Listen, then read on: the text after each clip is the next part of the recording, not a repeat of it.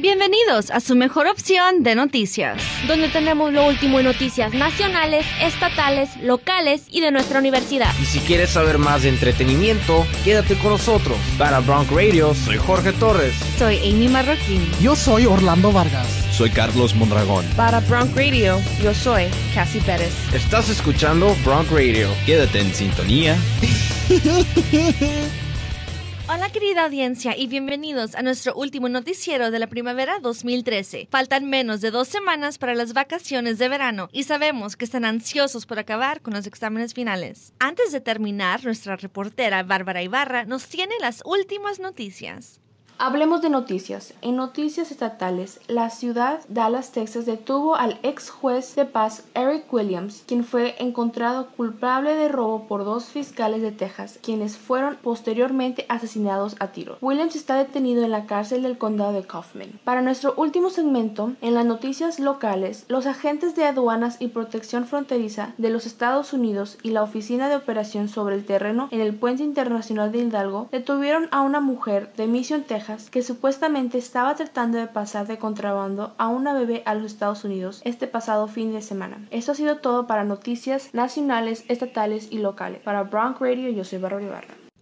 Si gustas relajarte antes de enfocarte en los exámenes, Carlos Cuadros te presenta los éxitos cinematográficos de la semana. Para todos aquellos aficionados del mundo del cine, estrenándose el 26 de abril se encuentra una nueva película de acción y comedia basada en hechos reales llamada Pain and Gain. En esta película, protagonizada por Mark Wahlberg y Dwayne The Rock Johnson, se encuentran dos amigos que están determinados en conseguir la vida de millonarios y hacen todo lo posible para conseguirlo. No se la pierdan, Pain and Gain, pronto en cines. Mauricio Pérez nos tiene las últimas noticias en la vida de los famosos. La actriz mexicana Kay del Castillo desde hace varios años atrás tenía en mente en sacar al mercado un perfume para la mujer de hoy en día. De acuerdo con la revista TV Notas, este perfume ya fue lanzado al mercado. La actriz lo quería que fuera muy original para su público mexicano y estadounidense, en lo que escogió un nombre fácil de no olvidar, al que fue llamado Flor Violeta. Para Brown Radio, yo soy Mauricio Pérez. Amigos y amigas, si a ti te gustaría ser camarógrafo o estar enfrente de las cámaras, hacer noticias y programas de TV,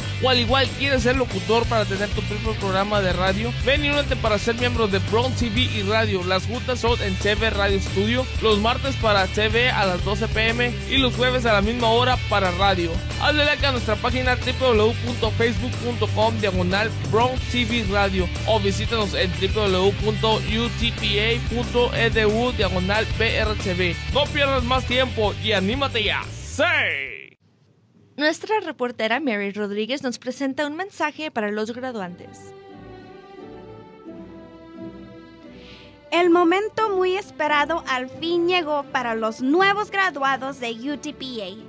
Después de haberse dedicado al estudio, los estudiantes ya podrán reservar la fecha para su entrega de diploma este 11 de mayo de 2013. Marquen sus calendarios porque la ceremonia se aproxima muy pronto. Si eres parte del Colegio de Servicios Humanos y Ciencias de la Salud o del Colegio de Ciencias Sociales, la ceremonia se llevará a cabo a las 9 a.m. Si eres parte del Colegio de Educación o arte, tu ceremonia será a la 1 pm. Y finalmente, si eres parte de los colegios restantes, tu ceremonia será a las 5 pm. Todo se llevará a cabo en el McAllen Convention Center. No se te olvide apuntar esta información muy importante y muchas felicidades a los graduados. Para Bronx Radio, Mari Rodríguez.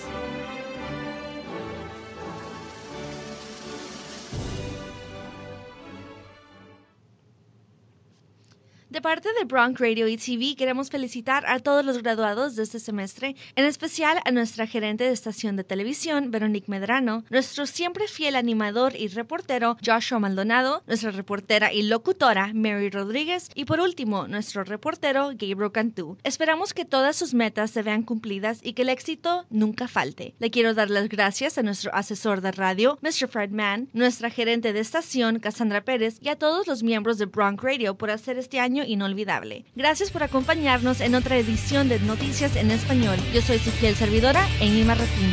Hasta la próxima. Chao.